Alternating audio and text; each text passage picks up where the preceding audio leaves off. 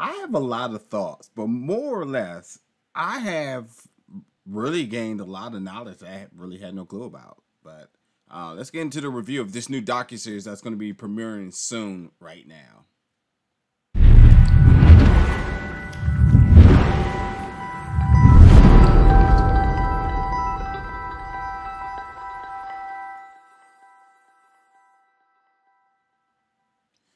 What's up, everybody, and welcome back to the channel today for another review. Today, we're reviewing the new docu series that's going to be coming out in five parts: A Moment of Truth, which is going to be set on IMDb TV and Amazon Prime Video April 2nd.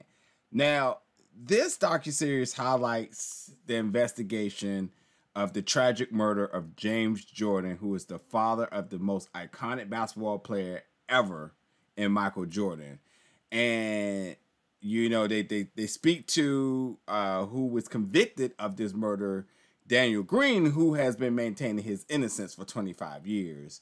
Uh, and while that seemed to be really the bulk of what's happening here, that's not really what surprised me. But I'm, I'm gonna get into that. But what's interesting enough for me here is that, you know, watching Michael Jordan play as I, you know, grew up, uh, one of the best players of all times. That's undisputed.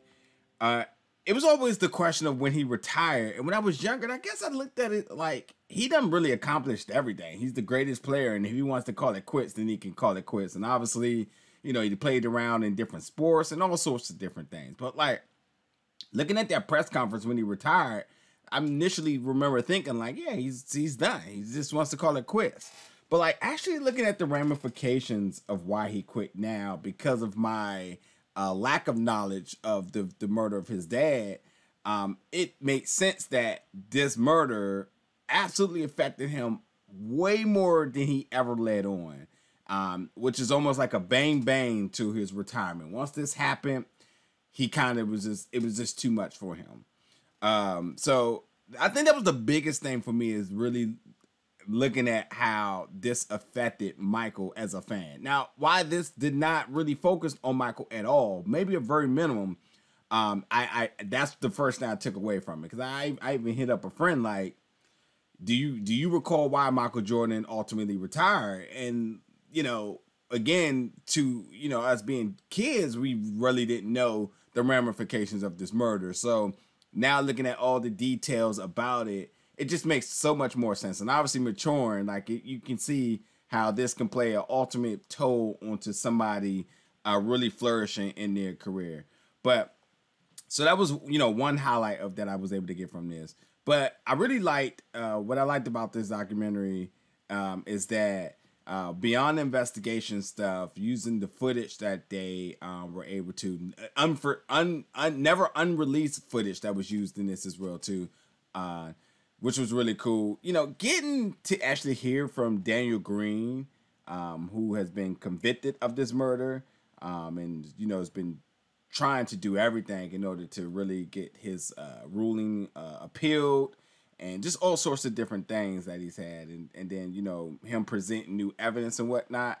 Um, so that's you know that's the other element of this. Daniel Green um, story is interesting enough that I'm not going to dive into it because I think that I think that's going to be the lore when you get to um, talk to the murderer or who's been accused of the murder or who's been you know ultimately um, convicted of this murder and hearing him um, you know do do whatever he can to really uh, um, get his case uh, tried again. But ultimately, that's not the really big thing that was surprising to me the Daniel Green and the Larry Demery, who was obviously the two people who were charged, but Larry um, is, I believe, in two years ago, um, he's up for parole now, which is kind of interesting. But like their their story is definitely interesting. You'll you'll see. But what was interesting to me that really had me baffled is when they highlighted the the the corruption in Robeson County, North Carolina, within their law enforcement system.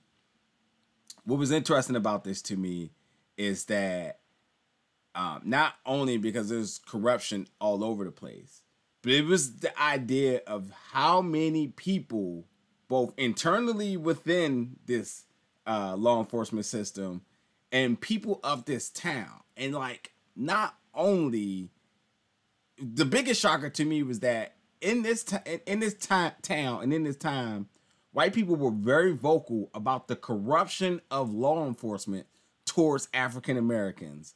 And it was mind blowing to see such a stance back then the way like you know you, you you see it now because of how things are but like seeing the stance and seeing this footage of people calling them out the way they did was so mind-blowing to me i could not believe it and not only was like this wasn't just blowing up smoke like the operation uh, tarnish badge resulted in the convention of 22 co- conviction of 22 deputies in the local sheriff's office in, t- in uh, uh, in 2002 like the evidence that was really put against them that you see in the documentary that ultimately led to this is like it's, it's so shocking to me.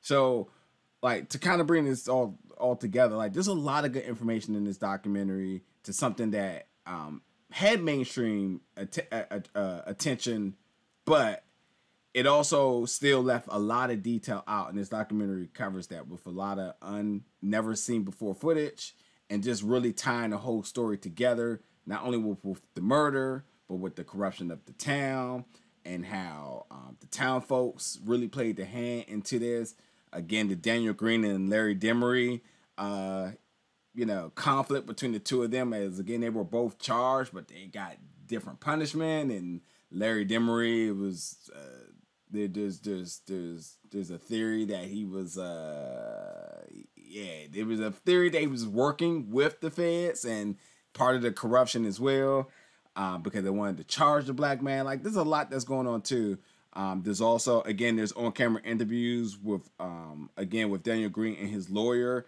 Christine uh, Mumma. So like there's a lot of good stuff here. Now the thing is with this documentary it's very informational. Um, I, I don't think it's like one of the best documentaries I've ever seen, but I think it's going to draw a lot of attention because of high profile the pro high profile uh, of a person that this is in James Jordan. And I think all you know sports loving fans or just people who remember this case being able to see um, this information come forth now uh, with with new light, new details, and so on. I think a lot of people will tune into it. So overall, I enjoyed it, but like I wasn't like blown away by everything that was happening, but I definitely grasped a lot of knowledge upon watching this, and that is always worth you know watching a good docu series. So again, it's five parts. It's going to be uh, releasing on uh, April 2nd, making its premiere on IMDb TV and as well as Amazon Prime Video. So, Moment of Truth, good documentary, very short binge.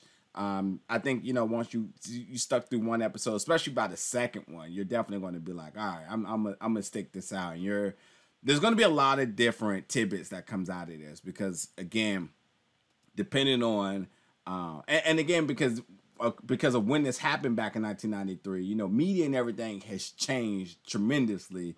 So you know, you had to read in the newspaper a lot of this stuff some things you were able to get on TV, but like now being able to see it all come full uh, full circle with all the details in one place is is um you know it, it would change your perception just a little bit on it. So, but anyway, yes, thank you for checking out this review. Let me know in the comments are you checking this out, your thoughts of this once you have, and as always, folks, stay tuned because more reviews are coming real soon.